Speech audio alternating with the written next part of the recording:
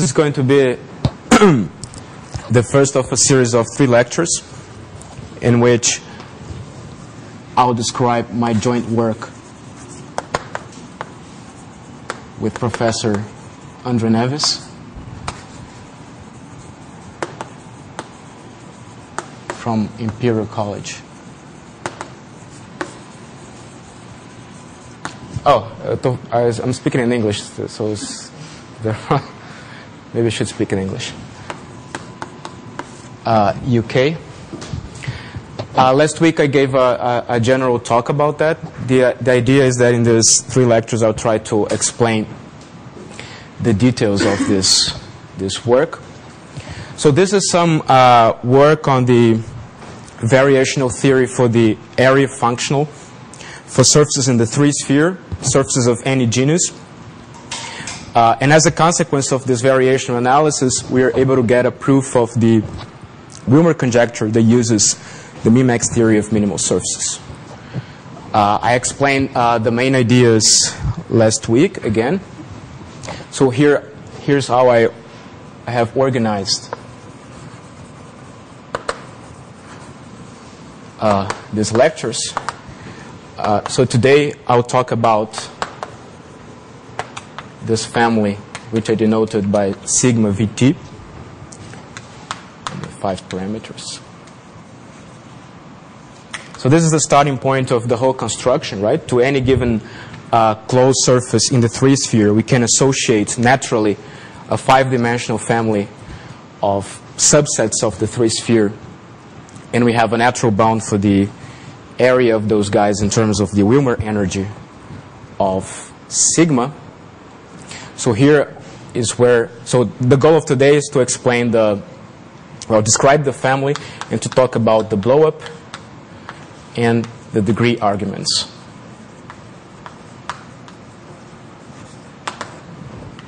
Uh, that I mentioned last week. So in the second talk, I'll describe the Min-max theory. I'll talk about Min-max for the area functional. And particularly, I will describe what I mean by the Almgren-Pitts Min-max theory. Right. Uh, and finally, in the third talk, I'll talk about the proofs. Theorems. Right?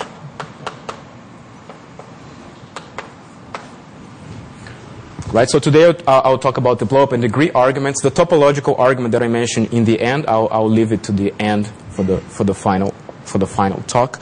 And in the middle, I'll describe uh, this, this theory of Min-max of minimal surfaces. Okay, so, so, so, so that's the idea. So today uh, we're going to study this family and we have to do, we, we have to do some calculations. So, so this is the explicit family of surfaces and we need to analyze the behavior of the surfaces uh, as the parameters go to the boundary of the parameter space. We need to fix the lack of continuity and then we need to, to detect the genus of the original surface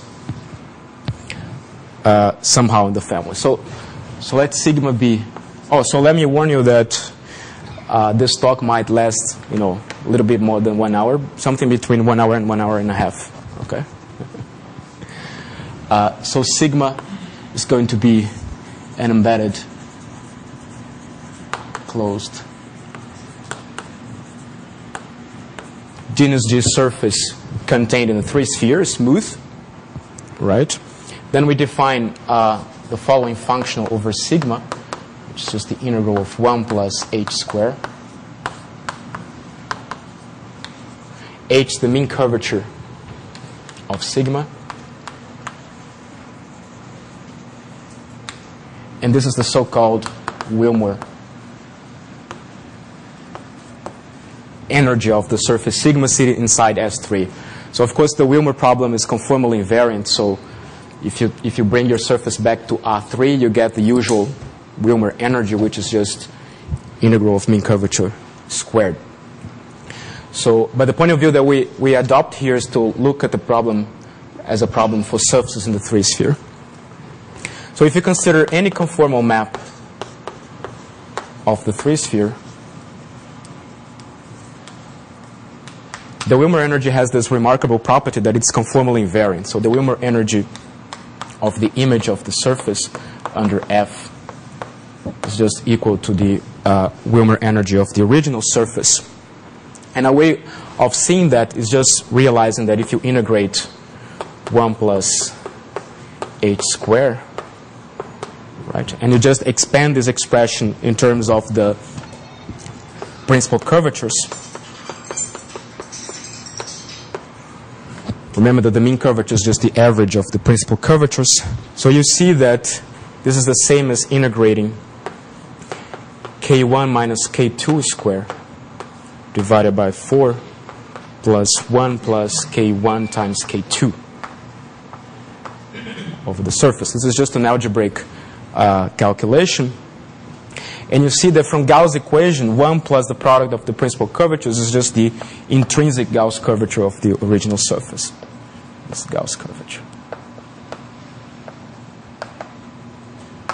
Right?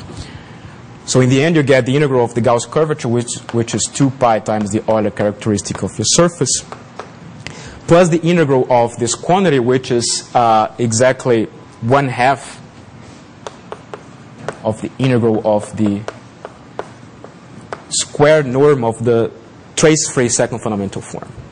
Right? Again, this is just a calculation. It turns out that this quantity, if you, if you multiply this squared norm by the area of your surface, this is a conformally invariant quantity, pointwise. Okay? So this is a way of saying that the Willmore energy is actually conformally invariant. So let me just remind you of what the theorem A is.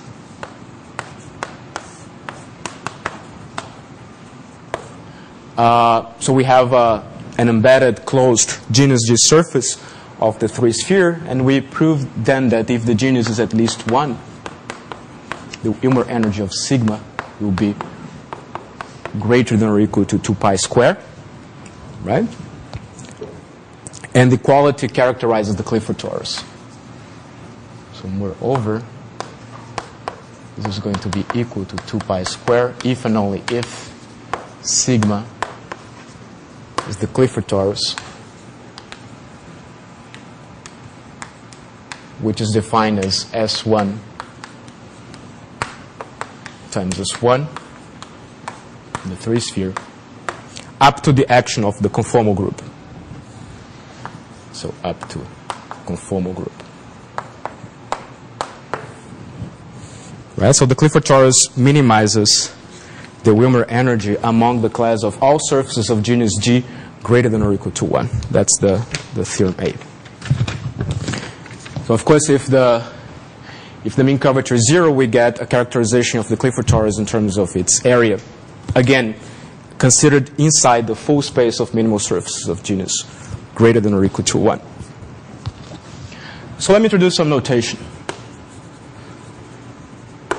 So everything here is going to be very explicit, so we need to, to introduce notation. So I'll denote by B4 uh, the open unit ball. Okay. So S3 is just the boundary of B4. And I'm going to look at uh, ball. I'm going to use the following notation for balls inside R4.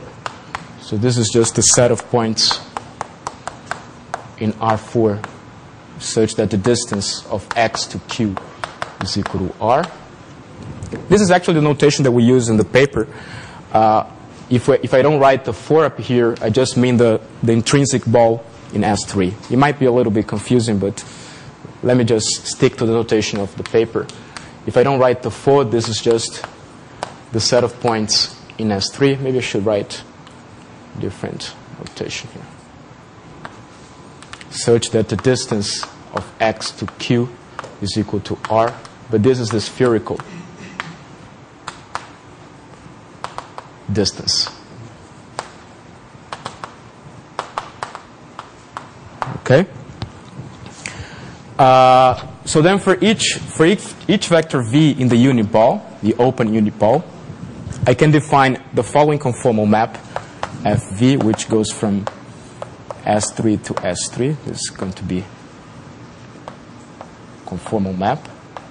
Defined by the following, following expression. So FV of X is just equal to 1 minus normal V square divided by this minus V. So this is the expression. It's very easy to see that this is conformal, right? This term over here, for example, is an inversion. Then you multiply by something and you subtract something. So this is a conformal map. And you can actually check that it sends uh, the sphere into the, into the sphere. So what is it doing? You can see that if V converts to a point in, the, in S3, right? You can see that this map is going to send everything in the three sphere to minus p except the, the point p itself. So fv of x converges to minus p for every x different from p. Right? Because if v goes to s3, the, its norm is going to 1. So this guy is vanishing. This maybe has a singularity when x is equal to p, right? But if x is not p, then this term is going to 0 and everything is sent then to, to minus p. Q is a point in R4.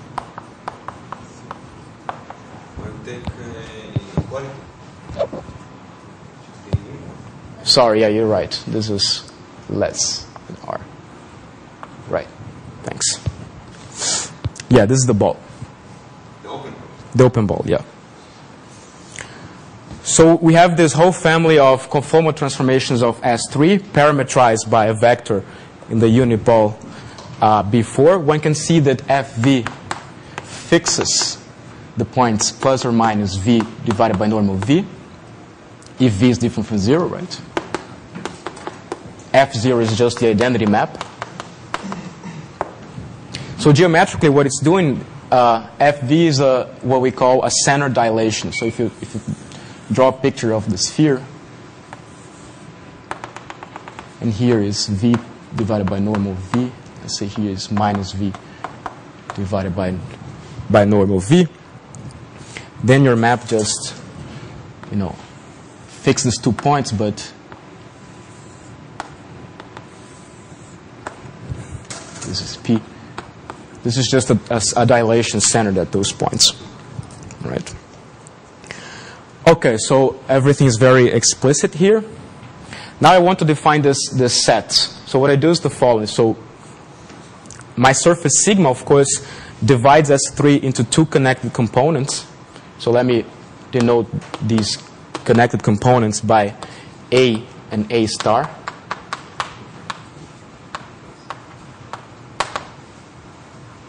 Connected components. So let's say that here is A and here is A star. Then I denote by N the unit normal to sigma which points inside A star. So n is the unit normal to sigma pointing into A star. Right? And then I apply my conformal transformations to these sets.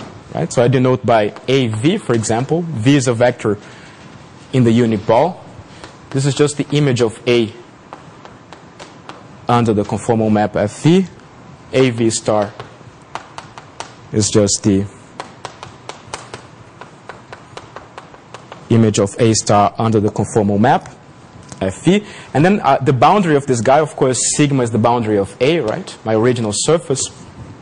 I denote by sigma V just the boundary of this guy. This is the boundary of AV, which is the same as applying the map FV to sigma. Right? So given my original surface sigma, I get all these uh, conformal images, which of course the Willmore energy of all of those guys is just equal to the Willmore energy of, of sigma. So these guys, they are smooth surfaces inside S3. Uh, but, but so far I just have four parameters, right? Because V lives inside the ball before. So I need to introduce a fifth parameter And this is parallel translation in the normal direction. So what I do is the following. So I have this surface sigma v, right, sitting inside the three sphere. And I look at the distance function to sigma v with a sign. I put a positive sign up here and a negative sign up, up you know, down there. So dv of x is just the distance of x to the surface if x is not in AV. Remember that AV is the component down there. And this is going to be minus the distance if x belongs to AV. So this is the signed distance function. So what we can see is that, of course, this is a Lipschitz function. And because uh, I'm, I'm, using the sign, it's actually smooth in a neighborhood of in a neighborhood of sigma v. Smooth in neighborhood of sigma v. Okay, so now I look at the level sets of this function. This is going to give, the, give me the fifth parameter that I need.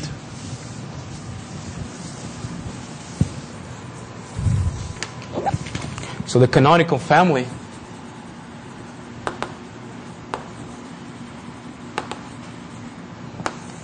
uh, is defined in the following in the following way. So you define sigma of vt.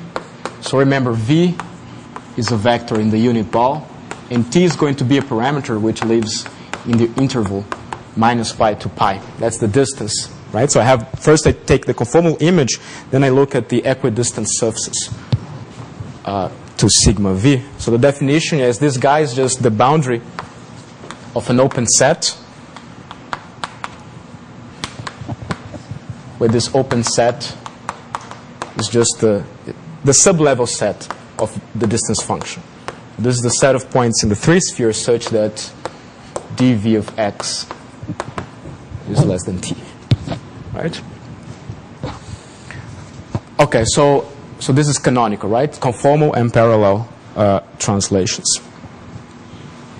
So, uh, of course, here I also have a normal vector nv, right? Which I can just define as being the image of the normal vector n under the derivative of fv.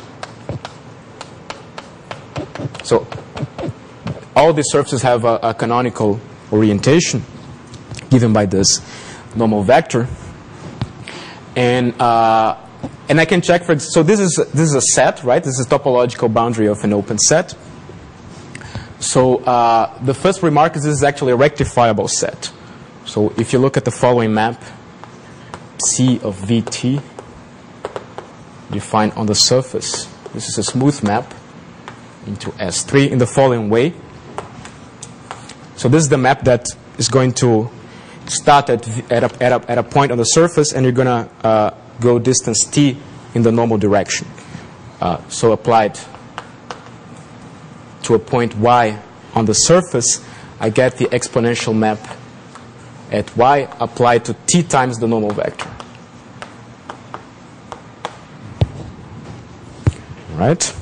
So because this is a sphere, right, this is, a, this is very explicit. The exponential map will give me just uh, cosine of t times y plus sine of t times the normal. Okay? This, this is just the, the spherical, spherical geometry. This is a geodesic, right, in the three sphere. So then it's easy to see that this set sigma vt is contained in the image of this map, right? Because every point of this boundary is at distance, let's say absolute value of t, right, in the right direction of the of the surface sigma v. So this is contained in the image so vt. And actually, since you can always uh, pick uh, minimize in geodesic, so so it's not a focal point there you can actually take the image of the set of points where the Jacobian is non-negative.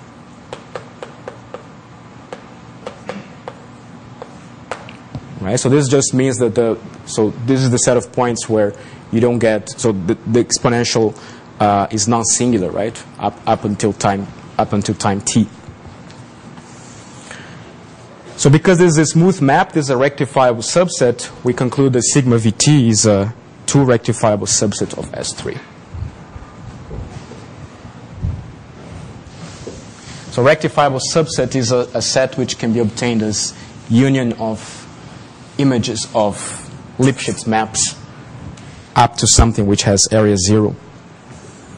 So sigma vt is a rectif- two rectifiable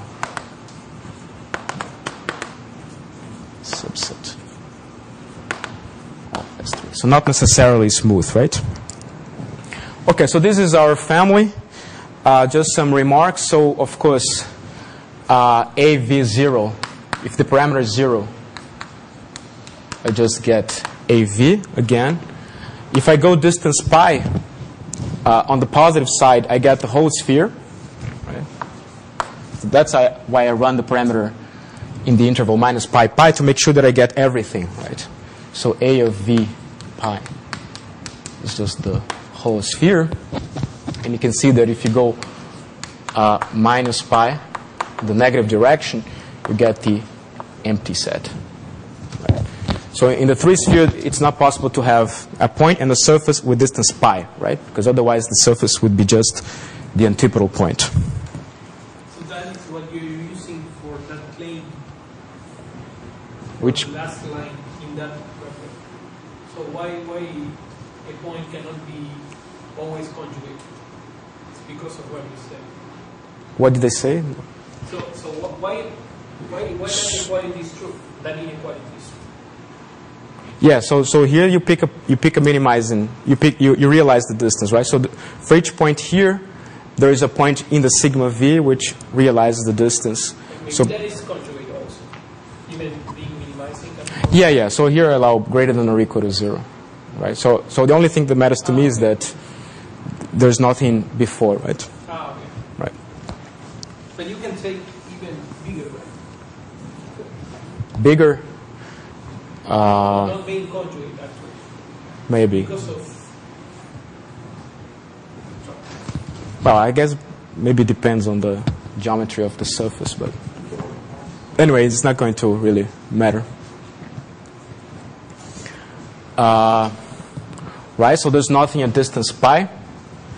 So if you take the boundary, of course, sigma v0 is just sigma v, right?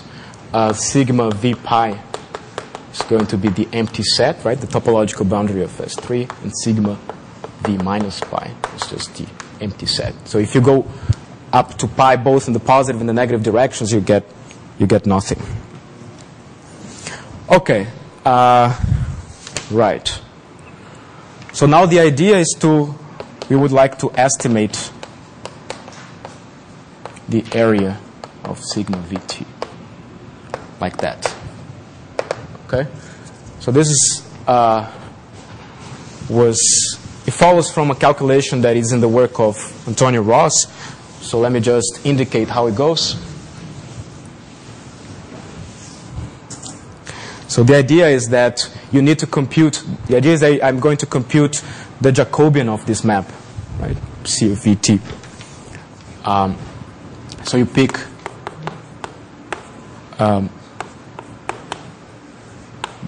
you pick an orthonormal basis of the tangent space at a, at a given point. So I can, I can choose this, this basis so that it diagonalizes the derivative of the normal map. So in this case, I get that the derivative of the normal, normal map in y applied to EI is just minus the principal curvature.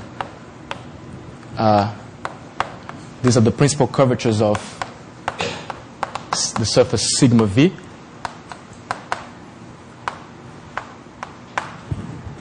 Right? Then the Jacobian is just the product, right? So you compute the Jacobian of this map at the point y. This gives me, well, you have to differentiate this guy, right? So, so if I differentiate this guy in the direction EI, I get uh, cosine of t uh, minus sine of tk times ki. Sorry, k1.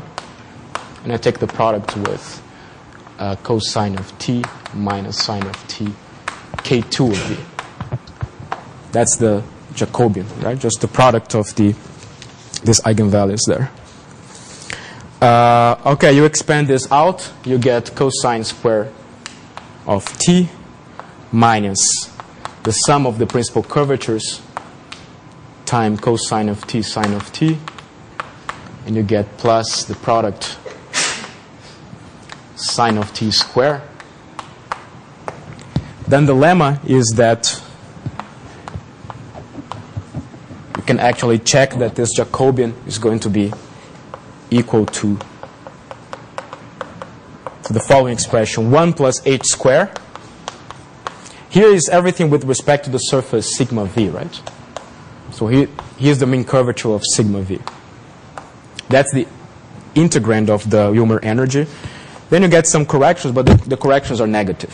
So you get minus sine of t plus h of v cosine of t squared minus k1 of v minus k2 of v squared divided by 4 sine square of t. Okay? This is just rearranging terms. So the area estimate is the following. So this is one can find in the paper of Ros, right? 1999. So he doesn't write it this way because for, he doesn't look at, he doesn't consider the family in its whole, but he, but he looks at the fixed, a fixed surface sigma, then you look at the parallel surfaces, you can compute this. This actually follows from older stuff, Heintze, Karcher, maybe even older. Yeah, well, comparison. But Ros, mm, you know, realized that this sort of area estimate could be important for the for the Willmore problem. So the area estimate is the following. Well, just integrate this Jacobian. So the area of the surface of this rectifiable set is going to be at most uh, the area of this image, right? So the area estimate that you get is the following. Um, that the area of sigma Vt is always less than or equal to the Willmore energy of sigma minus sine square over t divided by 2 integral of the sec fundamental form square without a trace. The proof is just simple. You just combine everything that I said. So the area of sigma Vt this in general is going to be less than or equal to the integral of the absolute value of the Jacobian, right? But I just look at the set of the Jacobians non-negative. So this is going to be less than or equal to the integral of the Jacobian of this guy over the set of points where the Jacobian is non-negative. Then the, the estimate just follows from what I from what I wrote down. Right? So this is going to be, of course, this set is contained in the in, in the surface sigma v, right? So I get integral of sigma v this expression here.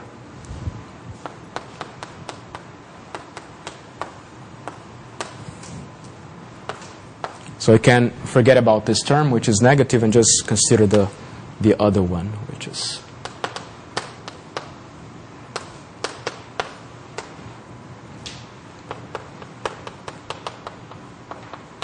Okay. Right. And this is equal to that. So this is the area estimate. This, this will be important later. This will be important later to, to consider the rigidity case. Okay, so, so the important point here is that we have this five parameter family of rectifiable subsets such that the area of each guy is bounded naturally by the, by the Willmore energy of the original surface.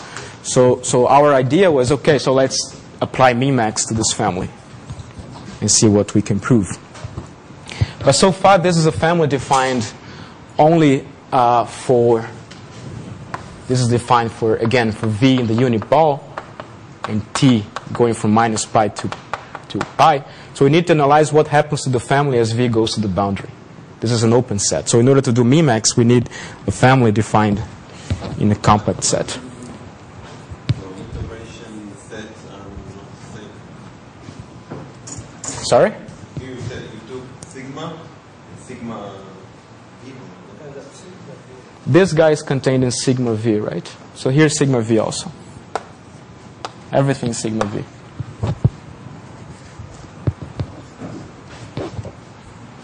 Okay, so, so what we need to do now is to, we need to analyze what happens to, to this family as we go to the boundary. So we want to analyze uh, AVT, sigma VT, the boundary, as V goes to the boundary.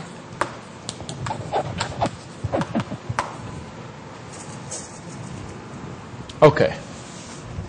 So here's notation. So the idea is that as, as you go to the boundary, the surfaces will converge uh, to geodesic spheres, right? But the surfaces have genus. So in what sense do they converge to geodesic spheres? So they converge in the sense of currents, which roughly speaking here, in this sense, what, what we're going to prove is that as V goes to the boundary, uh, there is a geodesic sphere so that if you count the volumes between your surfaces and, and such geodesic spheres, these volumes go to zero. So, uh, so the notation is we denote by uh, x, y the symmetric difference, as in set theory. This is just the symmetric.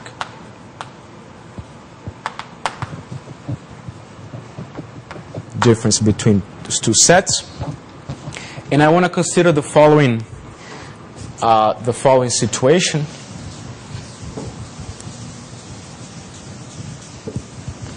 I want to consider the, the case in which I have a sequence of V ends in the unit ball, a sequence of T ends in the interval minus pi pi, such that these guys converge to some point Vt, which is in the closure.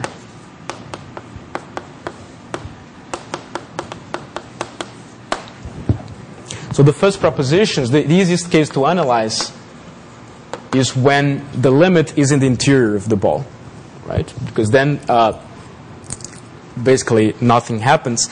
So if the if v goes to the if the limit point is in the interior, then you just get the usual conversion, right? Right. So you can prove that the limit as n goes to infinity of the volume of the symmetric difference between this open set VNTN and the open set that you get in the limit is equal to zero, right? So basically your surface is sigma, because V is in the interior, the convergence is smooth actually. So your surface is sigma Vn are just converging smoothly to my surface sigma V. It's more or less obvious then that if you look at the sublevel sets of the distance function, right, of this, these two guys, the volumes are going to are going to go to zero. Hmm? What? No, no. I mean, I? I mean that these volumes go to zero. Yeah. So if Vn converts to V in the interior, sigma Vn converts to to sigma V smoothly. You, know, you can write it as a graph, and the graph goes to zero in any topology that you like.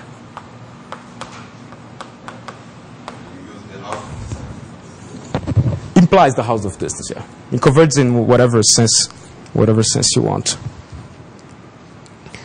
Uh, right? So, so, so this is, is somehow the, the easy case, right?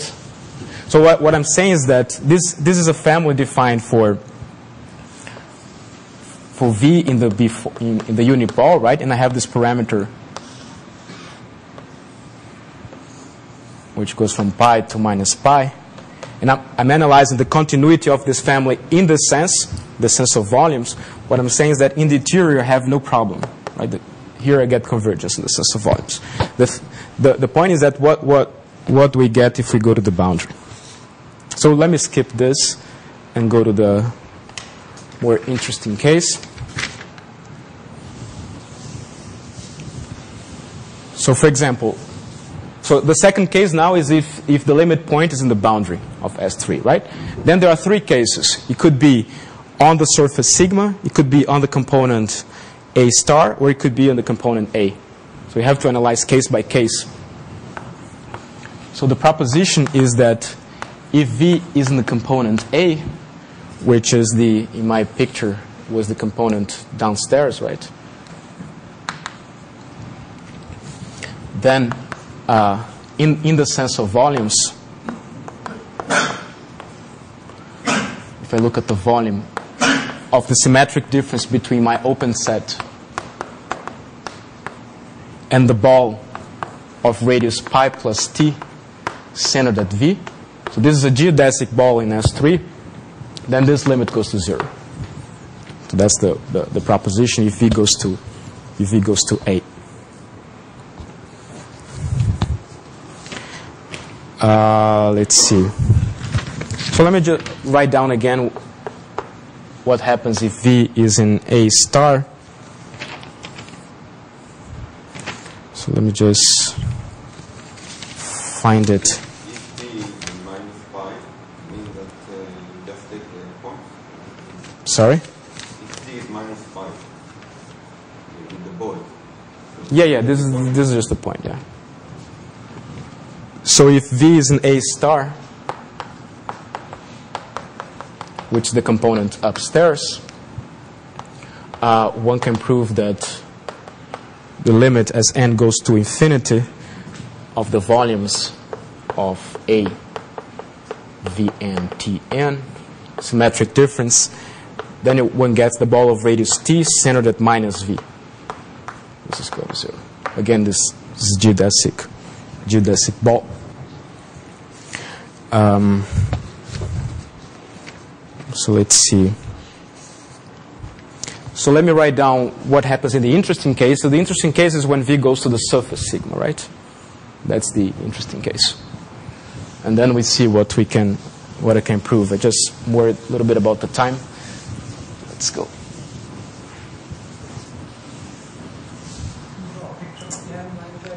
Hmm? I'll, I'll draw a picture in a, in a little bit, in, some minutes. So the idea is that these conformal maps are sort of dilating your sigma, right? So, so if you're, forget about t, let's say t is 0. If t is 0, you get your surface sigma here. We just, sorry, you, you get sigma. We're just looking at conformal maps here. So if the, so if the point, if you take like a sequence of v's converge to a point p, vn converge to this point p over sigma, and I apply the conformal maps, right? The image of the surface sigma is going to go to minus p, right? If the surface sigma is not on p. Actually, uh, I'm looking at the actual open set, right? So the open set goes to minus p. So the other situation, this is a situation where p is in a star, right? So the other situation is when p is in a, down here, then what happens is again, uh, uh, the surface sigma is going to minus p, but now the open set covers the whole thing, right? Since this guy is going to be sent into the whole OS3. So that's the situation where you get when t is equal to 0, you get a ball of radius pi. So this is, a, this is what happens always. So the issue, the interesting issue, is what happens if the point p lives in sigma. Then the answer is going to depend on the angle of the convergence of the sequence. Right? Is it clear what I mean, more or less? So this is what happens when t is equal to 0. Of course, then the parameter t just corresponds to a, to a, an equidistant surface. Okay, so uh, let me give you the answer. So what happens when p goes to goes to the what happens if Vn converges to V, which is equal to some point P on the surface. So let me introduce some, some notation. So I have this P here, right? I can look at the normal direction N of P. So imagine that I'm cutting uh, my ball with a disk here containing P and with this passing through the normal direction. So somehow this is B4 right? And I have the origin here. So what I want to do is I want to consider a tubular neighborhood of my surface sigma inside the unit ball, and I want to construct a parametrization of that. So here's the way we do it. So we define a map lambda, which goes from a point over the surface sigma and a two-dimensional disk in the positive half plane, let's say of radius 3 epsilon, epsilon is going to be a small number into the ball. And the definition is the following. Define this map by lambda of p comma s is just 1 minus s1 times cosine of s2 times p plus sine S2 times the normal of P. Okay, so uh, what I'm doing is just I'm parametrizing a tubular neighborhood of the surface sigma inside the unit ball. So D2 of plus R just denotes the set of points in the plane with norm less than R and such that the first coordinate is positive, negative right? And what I'm doing then is to, I look at the, this disk of radius 3 epsilon. This is the boundary. This is the disk of radius 3 epsilon. And here's the, my point on the 3 sphere, right? This is the 3 sphere S3. So what am I doing is that if I, if I, if I walk along this vertical direction here, I'm just running, no, I'm going along the geodesic here. Geodesic which has velocity vector normal of p, right? This corresponds to the parameter S2. Uh, and then the parameter S1 just project, you know, just goes into radially with respect to the origin here.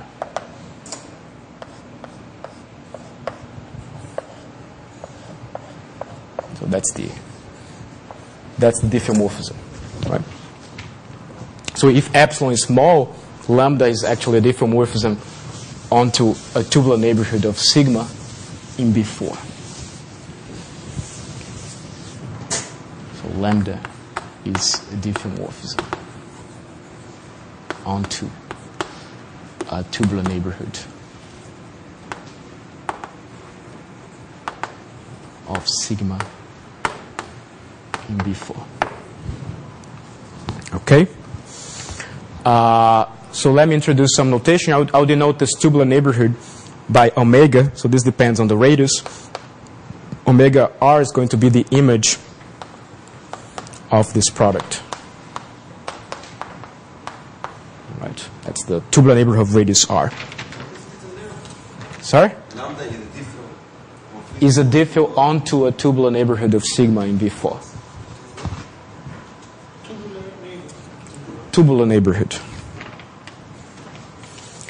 Okay, so, uh, so now the idea is that we have a sequence of V's which convert to P, right? Maybe I should use a different color.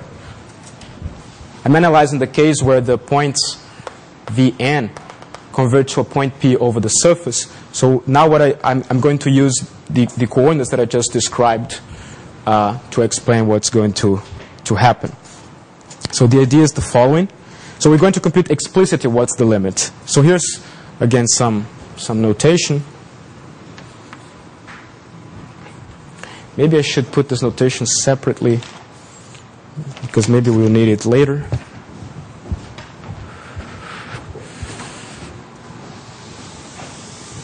Maybe I should erase this by now.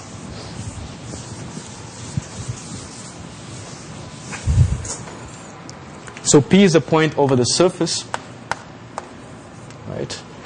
K is going to be a number between minus infinity and infinity, including including the infinities there. Then you, you define r bar k to be pi over 2 minus the arctangent of k. This is going to be a number between 0 and pi. So what I'm going to do is I'm, I'm, going to tell exactly what is the center and what is the radius of the geodesic ball that you get in the limit. And you, you define q bar pk to be the following vector minus k uh, square root of 1 plus k square times p minus 1 divided by square root of 1 plus k square norm of p. in S3. So this is, a, of course, this is a vector in S3, right? Uh, and one can see that if I look at the geodesic, this is a remark, if I look at the geodesic ball of radius little r k centered at this point, this is going to be this, the same as taking the Euclidean ball of radius capital R K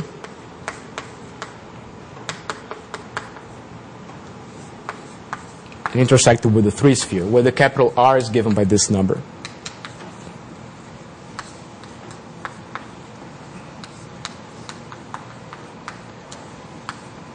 So you can work with, you can look at a geodesic ball as an intersection with of S3 with some Euclidean ball, or you can define it intrinsically.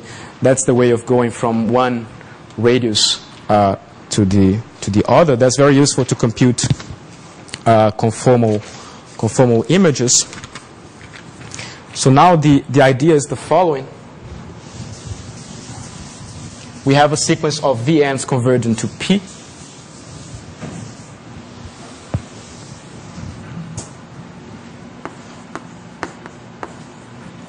So now eventually they they're going to fall into the image of this of this diffeomorphism. So I can use the S1 and S2 coordinates to to write uh, Vn as some image of some point Pn with some coordinates, let's say S and 1 and S and 2.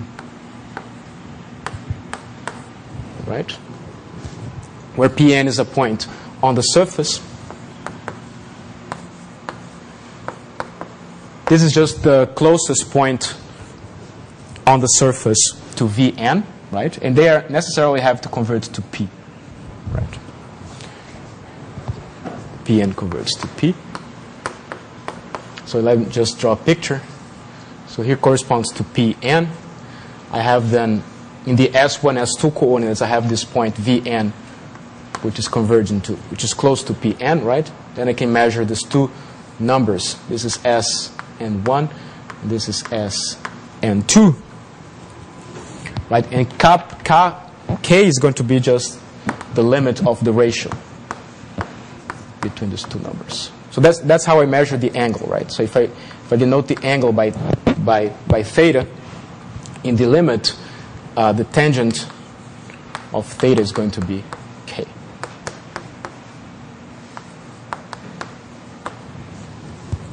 So assume this. Assume that your sequence of V's converge to the point P along some angle, right? So here's how to measure the angle, right? You can, you can look at the tangent, for example, the angle, this is, this is K. That's the number that I'm going to, to put over here. So the claim then is that preposition, again, uh, in the sense of, of volumes, if I look at the volume of this symmetric difference with the ball of radius little r plus t, centered at that point, this goes to zero. So in the volume sense, the sets are getting closer and closer to this, to this geodesic ball. And you get all kinds of limits, right? Uh, they all converge to the same point, but depending on the angle, you get different uh, centers and different, different radii.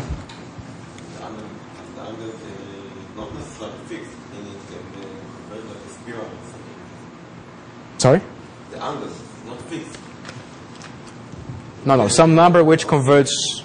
Yeah, yeah, but I, I'm assuming that it converges, right? So you can always pass to a subsequence so that the angle converges. That's why I, allow minus infinity and infinity here. Okay, so I'm assuming that the angle converges and the limit would depend on this angle. So let me sit- situate myself because I skipped a couple of things.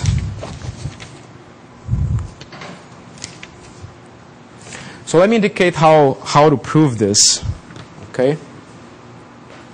So, You only the subsequence is the important thing, not uh, the, the fact that the, the whole limit exists.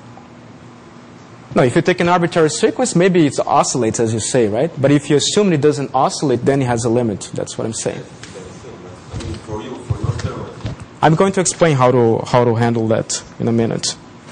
Okay? So the point here, so far the point is just that the, the limit depends on the angle and you can compute explicitly what it is.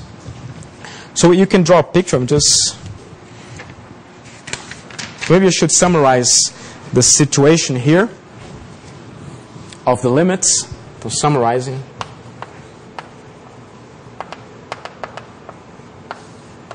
I get that A VNTN converts to A VT if V is in the interior, is in the open unit ball.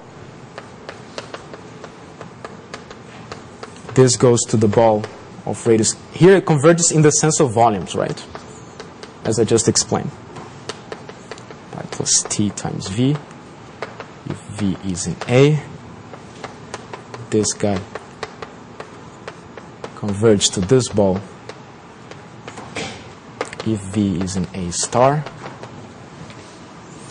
And finally, this is case one, two, three. Finally, the fourth case, one can prove that these guys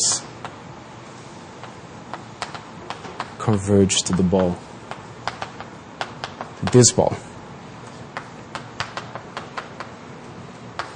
If I assume that the point V is on the surface and I have this, if I assume that the angles converge.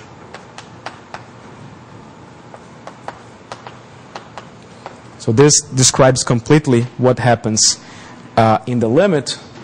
Um, and let me just draw a picture of what what is going on with the spheres. So if you if you if you try to understand what what what, what these spheres are doing, the first thing you see is that uh, minus p is always is on, on the boundary of all of these guys. So the picture is something like this. Here's minus p. Here's p. Uh, this is the ball when k, the boundary of the ball when k is equal to zero. Then you have these spheres like that. They all pass through minus p.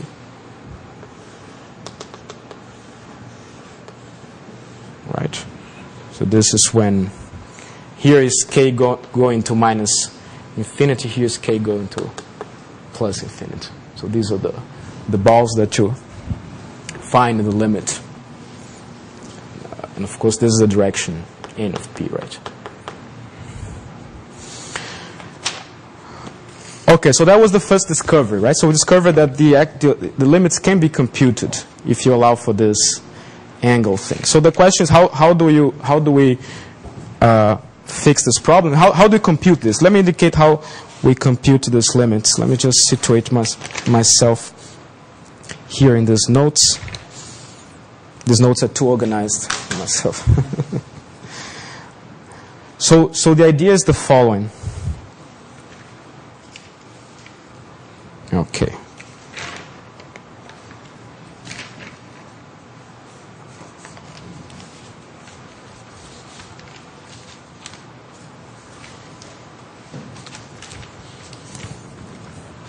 Okay, so how do we uh, prove this? Just indicate.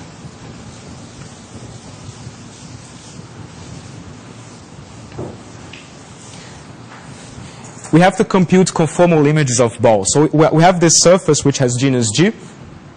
So we pick a point P, right, which is the point where we have the limit. So this surface might have like arbitrarily high genus, right? But there is one uh, great sphere which passes through P and has the same tangent plane. So basically what you have to, to, to prove is that the limit that you get for your surface is the same limit that you get for the, for the sphere uh, with the same tangent plane.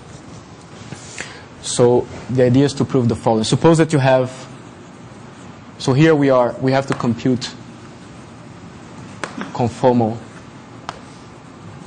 images of balls and sectors. And this is in one of the appendices of the of the paper. So suppose that you have two vectors p and n in the three sphere which are orthogonal. Like here you can look at a point on the surface and the normal vector to the surface at that point. We can look at the following sectors. So I draw the three sphere like here. So here's the point p. I have the direction n. So I go distance r from a point p in the positive direction like here. And I and I subtract the sphere centered at that point, right? Such that P is on the boundary. I do the same in the negative direction here. This is distance R. Subtract this guy. And I want to look at the sector, right? The complement of these two of these two balls. So the sector is defined like this. P and R is just S3 minus the ball of radius R centered at cosine of RP plus sine of R. Normal union the ball radius R cosine of RP minus sine of R n. So this is the, the sector. It's also useful to compute, as I say, conformal images of balls. So let me do another picture. So here's P, here's N. So I, could, I can take minus n over here, which is in the three sphere corresponds to this point, and I can look at this, this ball of radius pi over 2. So I can see this as the ball of radius pi over 2 centered at minus n, or I can also view it as the Euclidean ball of radius square root of 2 minus centered at minus n intersected with S3. Right just for convenience, the calculations.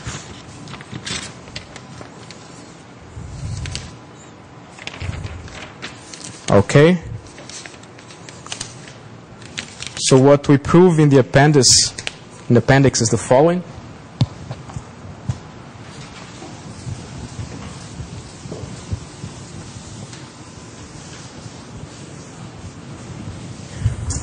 We prove the following thing in the appendix. Appendix B actually, that if you take a vector v, which is in this form, 1 minus s times cosine t times p, p plus sine of t times n, s and t I can choose to be small, no problem, because my, my sequence is converging to the boundary. Then we prove that the image under the, my conformal map of the sector delta P and R is contained in a very small annulus. So here's the annulus. This is contained, look at the Euclidean ball of radius R plus, plus some small quantity, which is measured in terms of the square root of the norm of ST, centered at Q bar, minus a ball of same radius but centered at R bar minus this quantity. Where this point Q bar is just minus t over s divided by square root of 1 plus t of s square. So this is a, uh, you know, takes some work, but it's everything very explicit. Times n. This is the center of the ball, and the radius is just square root of 2 times 1 minus t over s square root of 1 plus. Okay? So this is just a, a statement about conformal transformations of Euclidean space. You can see uh, from that, you know, why then I have these expressions, right? The idea is that k is going to be t divided by s, right? In my drawing here, this is t and s. So that's how we get those expressions over there because we prove this, including the radius, right? I have a similar expression for the radius here. Uh, and also we can prove the image, we can also compute the image of this, of this ball. Uh, uh, just for completeness, let me write down. So we can prove that the image of the ball of radius pi over 2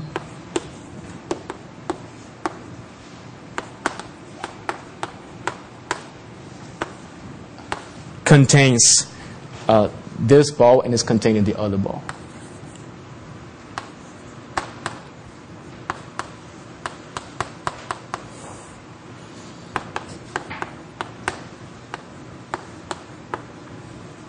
Is contained here.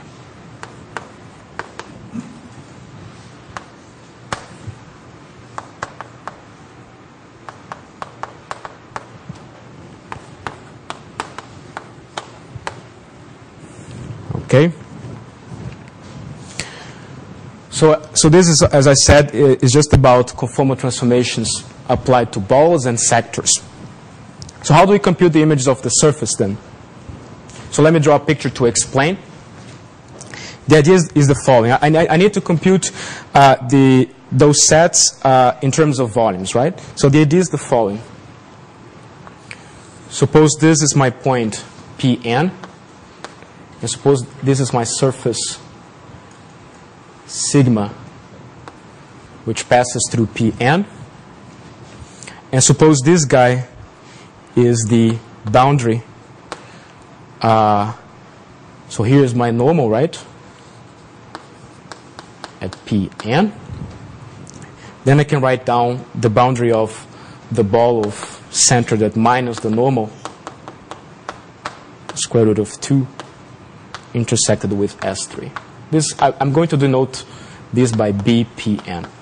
This is a ball of radius pi over 2 in the 3 sphere, and the boundary of this ball is exactly the, the tangent sphere, the, the great sphere which is tangent to the surface at the point, at the point Pn.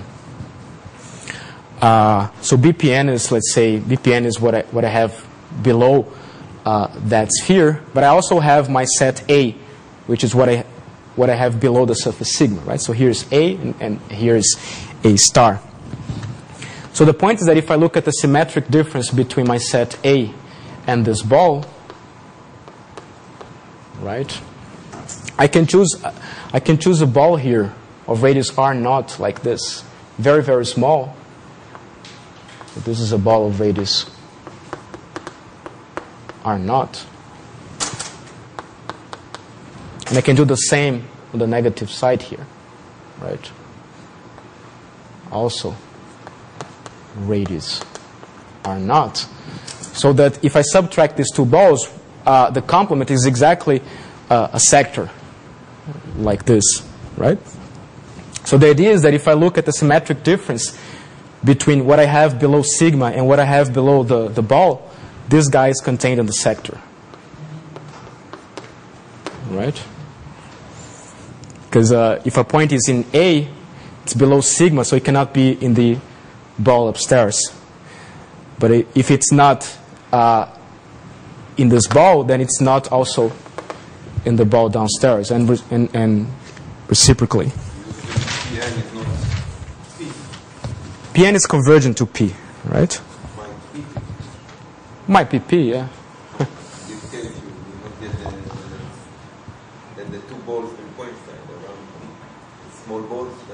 No, I'm doing the balls with radius normal at Pn. Right? P could be any point, so I just choose to be on Pn.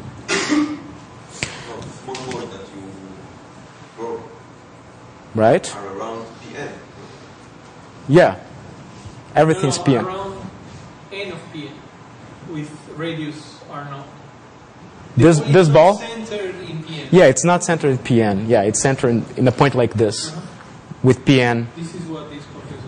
Yeah, centered at this point. You you you go a little you go a little upstairs, take this ball and do the same on the other side. Okay. So I, I can choose R not very small so that this ball is on the sides of both surfaces. So you, it's trivial to, to check that these two centers are different. What centers? Here is plus, here is minus, right? And R is very small.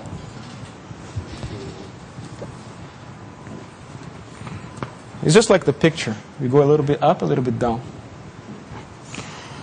Okay, so we know that the symmetric difference is contained in the sector. Then if we apply our conformal transformation FVN, right, to this guy, of course the image will respect the symmetric differences.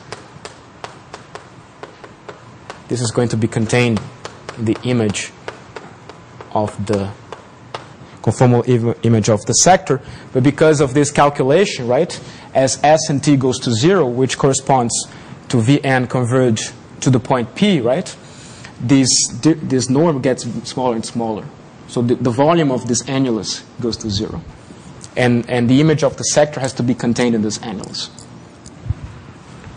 So this, uh, then the volume of this symmetric difference has to be less than or equal to the volume of this guy. But this volume is going to zero, right? So what uh, the, our conclusion is that the image of the conformal transformations of our open sets in the limit is just the same as you would get if you replace your surface sigma by the great sphere of tangent to the surface at that point. And then you use, uh, you know, explicit calculations. Here's the formula. You can compute what's happening there. have an explicit estimate on the volume of the EFVN. Yeah, I mean, we get an estimate because we, this is, depends on the square root of st, right? So you can just get an estimate. But the point is that this is going to zero. That's all that, that's all that matters for our construction. Okay, so, so then we, we've seen that our surface is not continuous. Our, our family is not continuous as v goes to the boundary, right? Because the limit in the fourth case is dependent on an angle. But here's the way we fix it. The point is that it depends only on the angle. Right? That's what we, I proved with this argument. So then we can do a blow-up argument, blow-up construction, which is the following. So I'm going to use the diffeomorphism lambda as a way of writing my tubular neighborhood. So here's the picture. Here's my point P.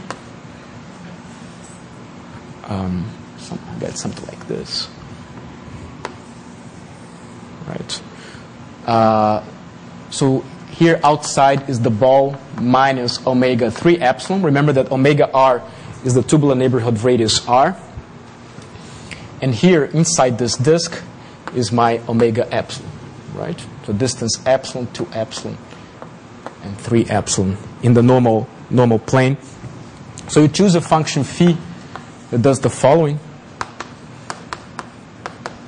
That is 0 here, smooth function, right? It's 1 over here and is increasing here. Any function phi with those properties would do the job. Then you construct the following construct a map T which goes from the ball to the ball by the following such that well I want I want my map to be the identity outside the tubular neighborhood of radius 3 epsilon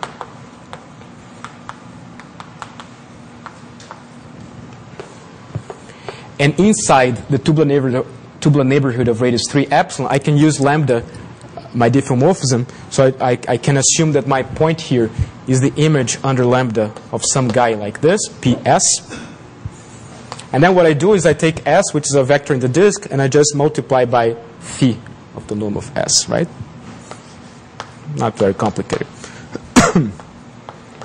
phi is a function of, of, uh, a, of a real variable, so I put the norm of S here. So here's my radial map. And the remark is that if I am inside omega epsilon, my function phi will be zero there, right? So the map T collapses this whole tubular neighborhood onto the point P, but radially. So remark is that T collapses omega epsilon onto the surface, because remember that this is happening uh, over the whole surface, right? Onto sigma. radially. And now the idea is that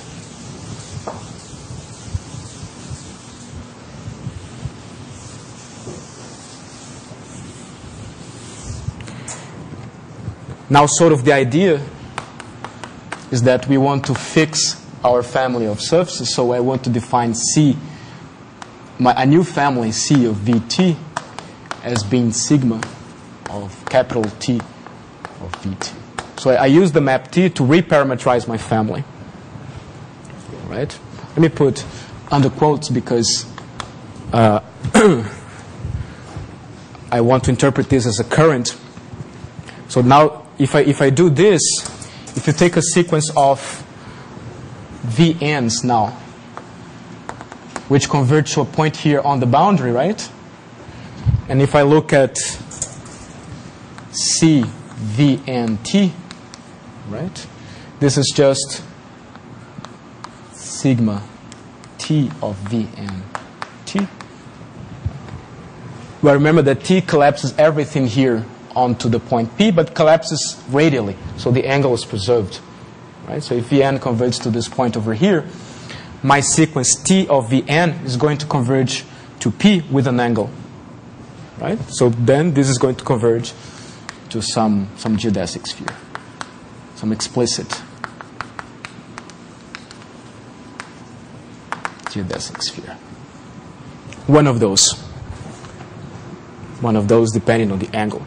So all these geodesic spheres appear as, as limits over the over this set. So for each point here, I get some geodesic sphere. Now, since I want to extend my family to the whole ball, you can just, you know, you can just extend it so that it's constant on horizontal lines. You can pick the sphere here and define this, your family to be the same over horizontal lines. So now your family is defined on the whole thing, and such that over the three sphere and inside this small tubular neighborhood, all we get are geodesic spheres. Okay? Um, so here we have a choice to make because I kind of underestimated the time. Yeah. Is it at this point that you have to use varifolds and not currents? If you want to get No, no. This is in the sense of currents. So we need to use varifolds because phrases of the min-max, the converge to minimal surface in the sense of, of varifolds. between the two surfaces going to zero as oriented surfaces or unoriented surfaces? Oriented surface, yeah, oriented surface. So currents are oriented objects, right? So the idea is that if the volume goes to zero, the, you have convergence in the sense of currents. So if I interpret this guy as a current, I get a continuous, a continuous family. It doesn't converge in the sense of varifolds. if I think a doubly covered sphere as currents can converge to zero, the orientation is opposite. You don't want to get zero, do you? So what's your example? Take, take two spheres and connect them by a neck, the orientation is opposite. The and it's converging to a sphere. Mm-hmm. The volume is going to zero. Currents, you get zero. So are you thinking about, let's see, something like this, right? Uh, let's see, something like this. Okay, so the volume, so that collapses down, you get a sphere, the volume goes to zero. Right. So this converges to zero in the sense of currents. It goes to zero. You don't want it zero, you want to get No, no, no, but but in this case you don't get the convergence to the to the sphere in the sense of currents. You get convergence to zero. Because this guy bounds something which has volume going to zero, right? That's why three gets zero. Yeah, so in this sense it goes to zero. In, in this picture it goes to zero. So That can't happen here. yeah, it can happen because Oh, so you, so when you say convergence is viewed as sphere, it could be with zero. it could be the point, yeah.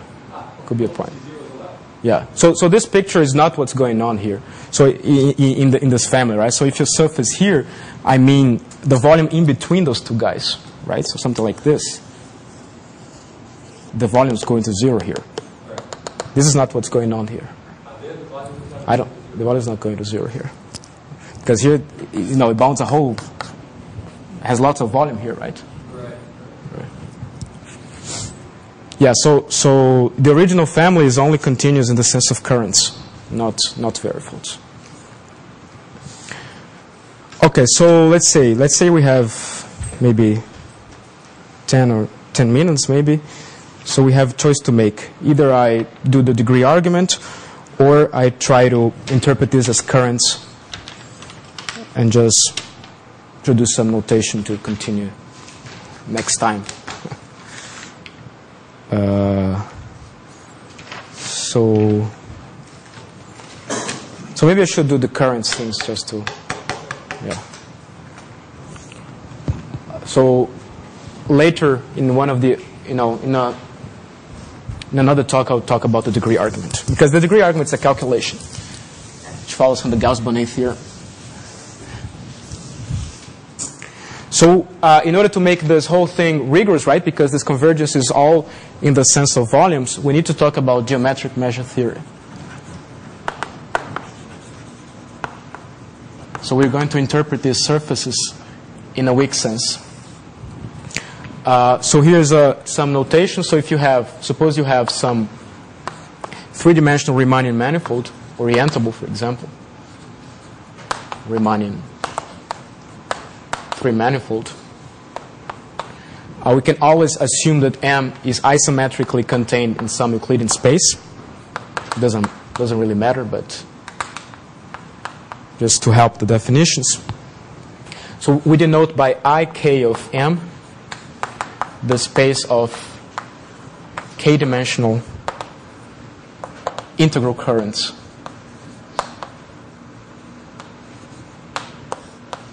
in RL uh, with support contained in the manifold.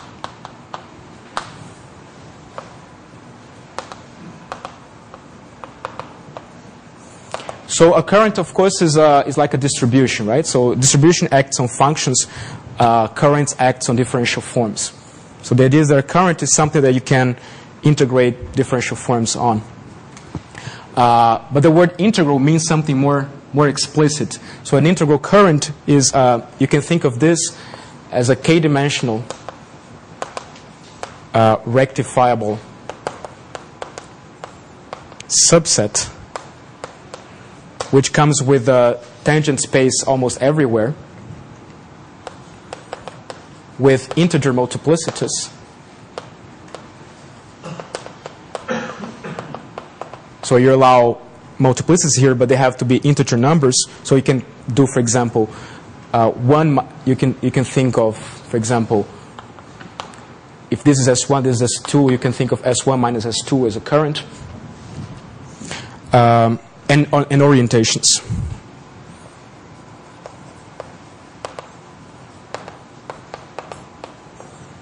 Chosen almost everywhere.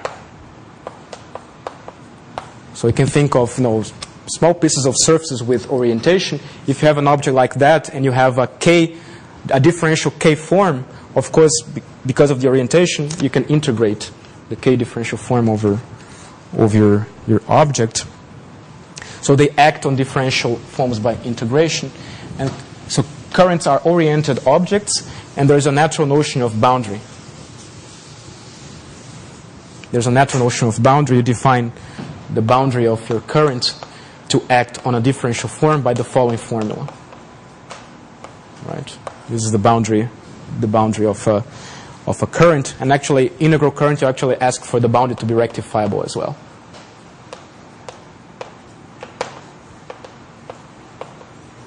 So for example, my set sigma Vt can be thought of as integral currents.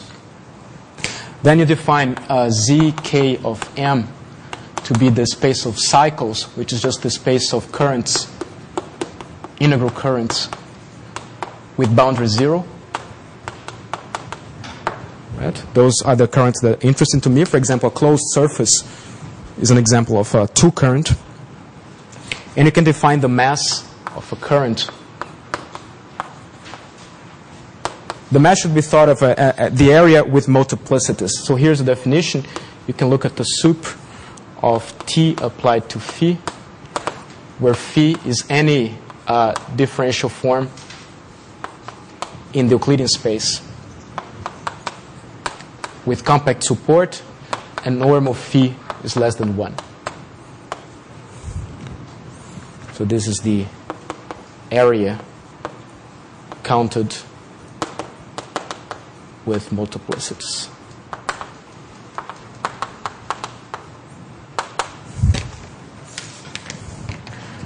Um, okay, so, so, so the mass, so this is a, a norm, right, in the space of current. So you also define m of S1 comma S2 to be the mass of the difference of these two currents.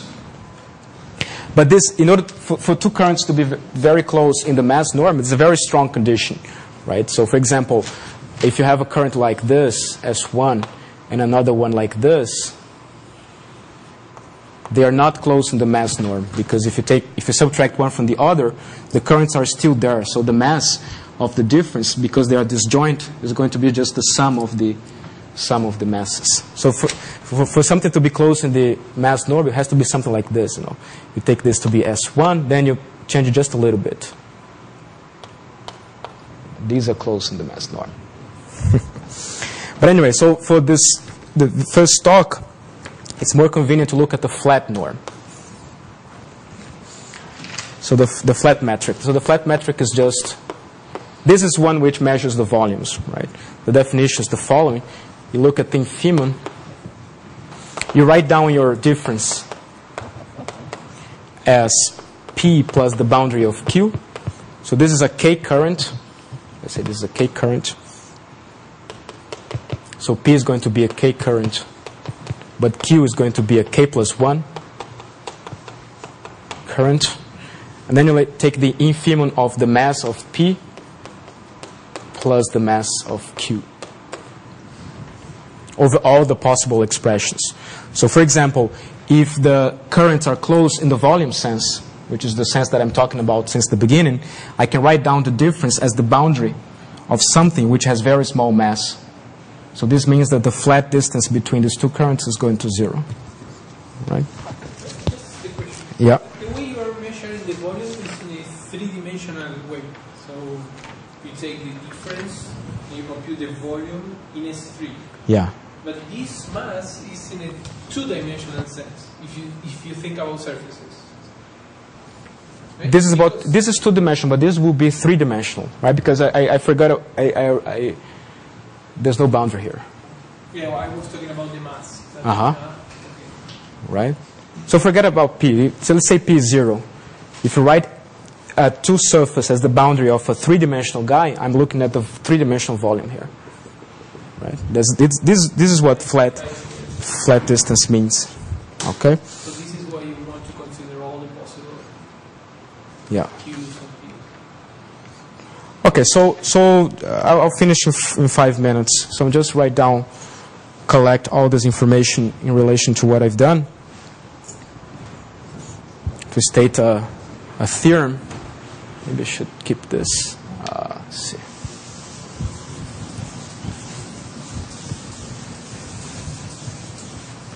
So that's the flat distance, right? So of course the I can define the flat flat of t to be just flat the distance from the zero current, and this is always less than the mass of t by by just the definition. You can make q equal to zero.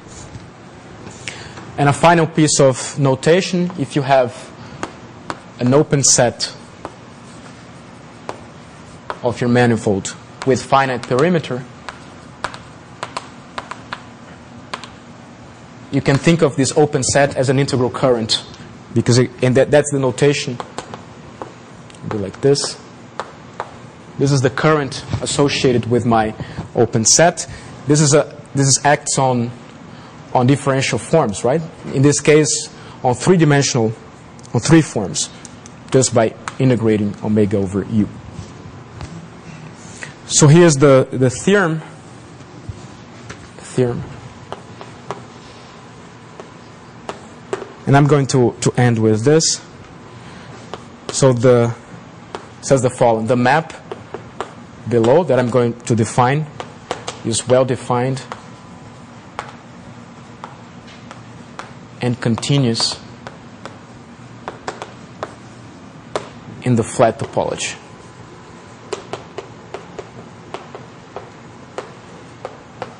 Here's the map. I'm just going to formalize, you know, make it rigorous what I wrote here. You take C. Now my map is going to be defined on the whole ball, on the closure of the ball. And my objects will be not only integral currents, but will be integral currents with boundary zero. Because remember, the sigma Vt was, was already a boundary, right? So the boundary of a boundary is zero. So there are going to be two cycles in S3 defined in the following way. So you, you, C of Vt is going to be if V is outside the omega epsilon region, remember the picture. Right? I had P omega epsilon and I have and I had the outside. So if V is inside here, I just take uh, I look at the open set, now reparameterize my family.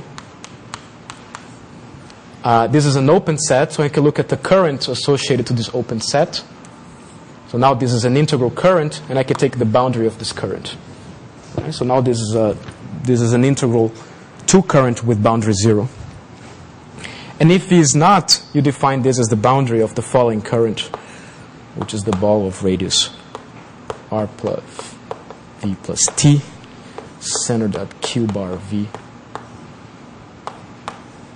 The boundary of this current, if v is, well, if v is either on the three sphere, right, or inside the omega epsilon region.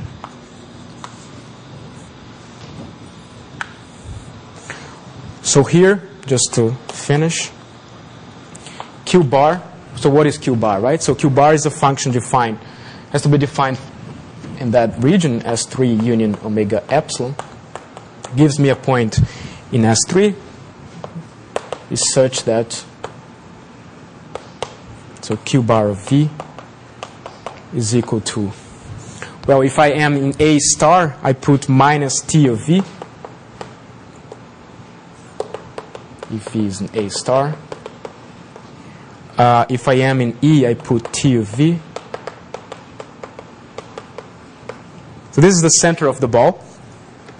And this is going to be q bar pk if v is in the region.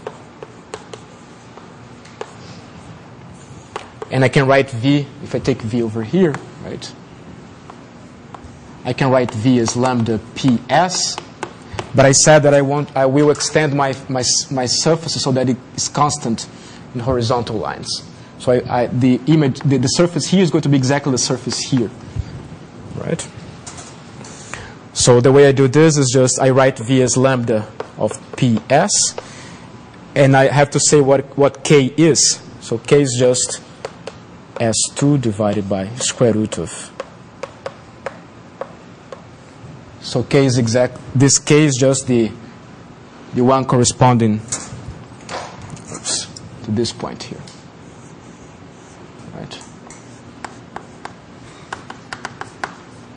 So the, the spheres are constant over horizontal lines. And, and the radius is just, well, the radius is just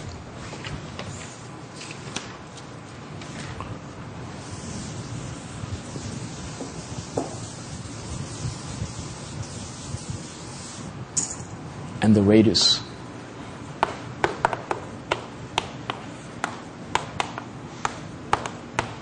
Uh, zero pi, right? Is given by the radius is going to be 0 if v is an A star. It's going to be pi if v is in A. And it's going to be the, the radius that I wrote over there if v is omega A. Again, where k is the same guy that I, that I defined here. So what, what I'm writing down is just I'm collecting all the information that I, that I got in the limits here. Right? So I'm writing down all those limits. But now remember applying my parametrization T of V, uh, just writing down what I get in the limit. So if you write, if you, if you define your family like this, because I, I just mentioned how to prove that these volumes in between these currents go to zero in the boundary, the, the, the resulting family is going to be continuous in the flat topology. Right. Uh, Uh, continu- continuity in the flat topology implies continuity in the sense of currents because, you know, if you have two currents like this and the volume is small, right? If you write down this guy's boundary of some Q and you apply this guy to some differential form, this is just the boundary applied to the differential form, but this is Q applied to the differential of omega, right? So because Q is small, the resulting guy will be will be small as well. So if the volume is going to zero, they are convergent as currents.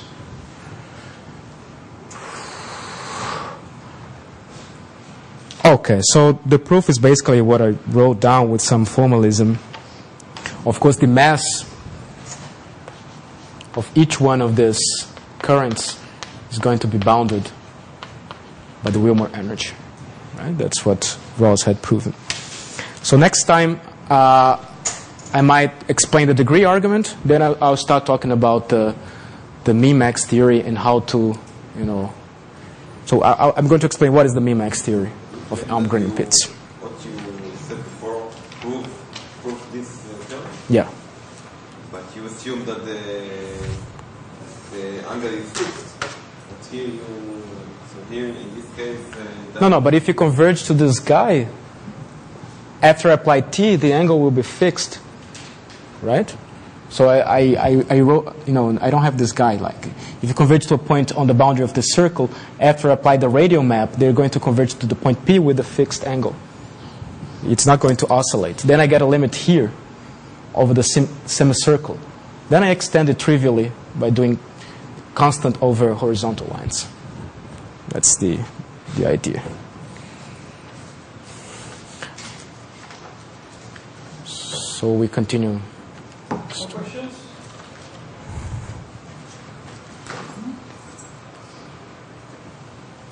More questions? Okay, so we not, we are not going to you today. No problem. You didn't end. I have two more.